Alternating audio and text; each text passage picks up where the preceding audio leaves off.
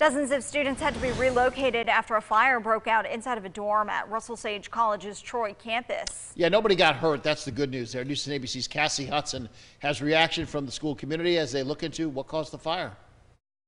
No, I wasn't scared, but I was confused. One student reacted right away to signs of smoke, calling public safety and 911 as the fire alarm was going off.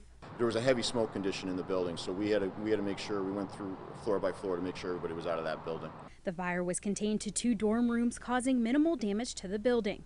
The Troy Fire Department credits the students and staff for their quick response to the situation. We take the health and safety of our students very seriously, and fires are exactly the kind of thing that you prepare for. I mean, we have fire drills, we have building captains, and everything that they've been taught to do unfolded exactly as it should have been. The college says they're relocating 75 student residents and one professional staff member to other campus housing facilities on the Troy campus. It was a small fire, but a small fire often generates a lot of water to put it out. So we expect it may be a few weeks uh, before the dorm is ready for people to move back in. Um, it's definitely a mess. Yeah. Like it's very like unorganized. Everyone's like frantically trying to pack up quickly. It's probably super tough on them it has like there's like a weird smell inside, kind of like yeah. Like burnt. On Thursday afternoon, the students, with help from friends and family, allowed back inside Kellas Hall to collect their belongings from the building, getting a helping hand from student athletes who volunteered to help their peers move out. Yeah, it's a big thing for our school is making sure that our community is built up the best that it can be. I don't live on campus, but I have